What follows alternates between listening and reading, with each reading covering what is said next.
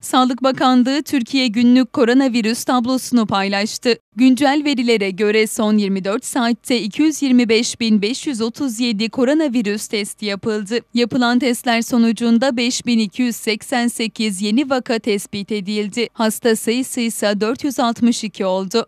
Günlük verilere göre 42 vatandaşımız virüs nedeniyle hayatını kaybetti. 6219 kişi de koronavirüs tedavisi tamamlanarak sağlığına kavuştu. Böylece iyileşenlerin sayısı 5 milyon 300 bin 504'e yükseldi.